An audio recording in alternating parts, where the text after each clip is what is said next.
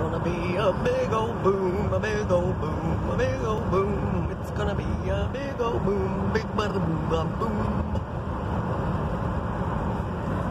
Yes, what, what do you smell? It does the raining. Sorry,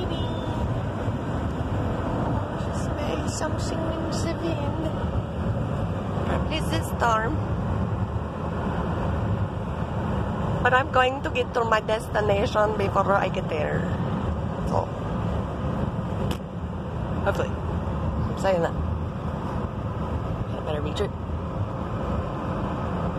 Gotta want to need to get a have a bojangles. Oh, look at all these. Look at this bird shit on my window. It's a little asshole bird. It's clear and towards the, uh, uh, uh, I don't know what direction my car is facing, but that is like north, northeast, or northwest rather, towards Virginia, up in there. And then I'm I'm traveling 89 east,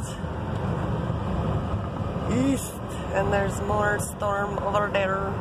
Sharp curves around here. I'm well. I don't care if it rains or freezes, long as I got my plastic Jesus sitting on the dashboard of my car. Where you at?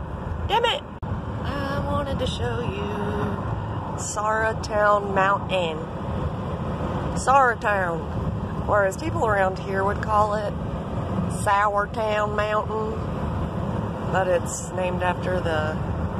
There's that bird poo in my window. They're named after the Sara Indians from back in the day.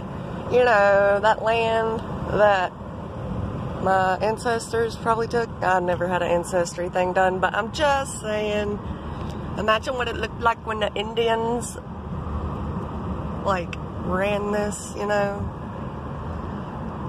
Oh, the traumatic stuff that happens in America, sometimes I wonder if it's not because we're not buried on an ancient Indian burial